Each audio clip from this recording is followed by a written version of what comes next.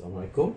Uh, kali ini kita dah sampai di soalan nombor 5 iaitu latihan tim diri 1.4 soalan nombor 5. Rajah di sebelah menunjukkan rantai yang dipasang pada gegancu hadapan dan belakang sebuah basikal.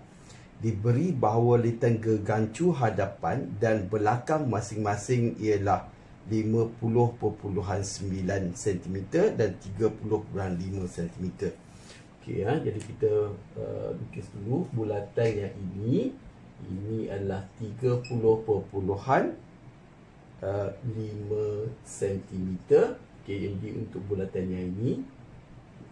Jadi bulatan yang ini pula uh, lilitannya adalah uh, 50.8. Jadi seluruh rajah ni 50.8 cm.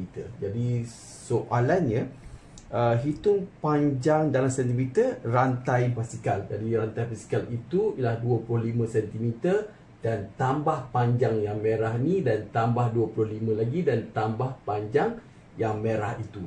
Okey, jadi untuk uh, dalam keadaan ini adakah perlu kita cari jari dulu? Uh, sebenarnya tak perlu dan kita tak akan menggu- tak akan menggunakan formula add match pun. Kita akan cikgu akan gunakan formula biasa saja iaitu formula modern math iaitu uh, 2 pi r 2 pi r darab sudut per 360 untuk mencari panjang merah ini dan yang ini.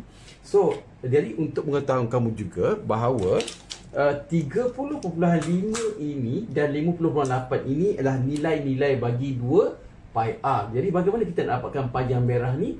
Kita darab saja 30.5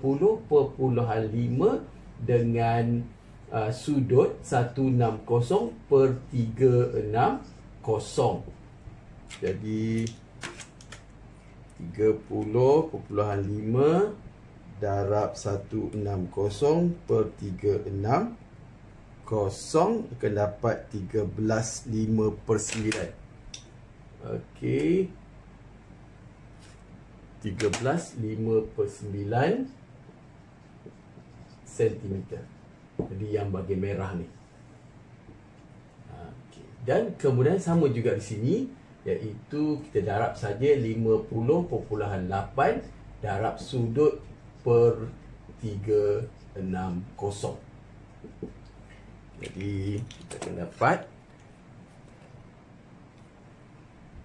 50.8 darab 185 per 360 iaitu 26 19 26 19 per 180 jadi untuk parameter ialah campurkan keempat-empatnya iaitu 25 cm tambah 25 cm tambah 13 5 per 9 cm tambah 26 19 per 180 cm. Jadi parameter tu uh, 50 okey jadi 50 tambah 13 5 per 9 uh, tambah 26